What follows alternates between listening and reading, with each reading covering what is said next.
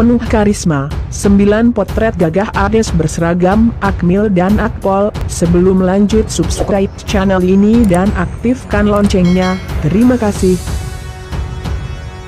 Akademi Militer, Akmil, dan Akademi Kepolisian, Akpol, merupakan dua dari banyak sekolah kedinasan yang banyak diminati. Tak heran jika banyak orang berlomba-lomba dan mempersiapkan diri sejauh mungkin untuk bisa masuk ke akademi yang lulusannya langsung menjadi perwira TNI dan Polri ini. Namun beruntung bagi deretan artis berikut ini, mereka bisa menjadi taruna dan taruni Akmil Akpol justru melalui film yang mereka bintangi.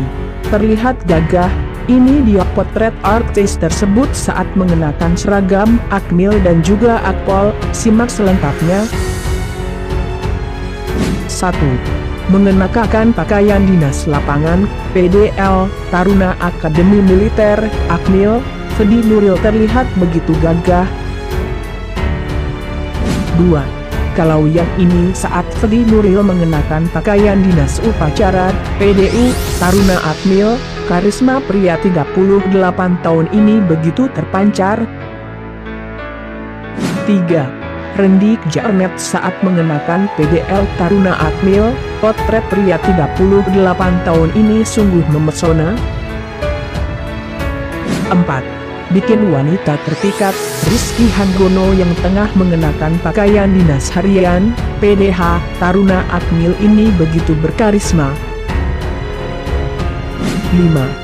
Fedi Nuril, Rendikja Ernet, Rizky Hanggono sendiri mengenakan seragam Akmil saat ketiganya berperan sebagai Taruna Akmil di film Dua Tanda Cinta yang rilis 2015 lalu. 6. Umay Sahab, artis muda ini juga pernah menjadi Taruna Akademi Kepolisian, Akpol, dalam film Pohon Terkenal, 2019. Ini dia potret gagahnya saat mengenakan PDL Taruna Akpol. 7. Dalam film, Umay beradu akting dengan Lor Teuk sebagai Taruni Akpol. Potret Lor Teuk saat mengenakan pakaian dinas pesiar malam, PDPM, Akpol ini terlihat begitu memesona ya. 8.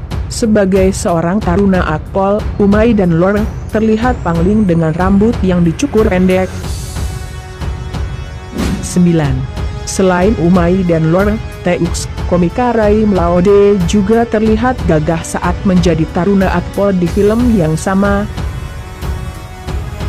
Nah itu dia potret Ades saat tengah mengenakan seragam Akademi Militer dan Akademi Kepolisian. Meski hanya peran dalam sebuah film saja, tak dipungkiri jika semuanya terlihat gagah dan berkarisma saat mengenakan seragam Akmil dan Akpol tersebut.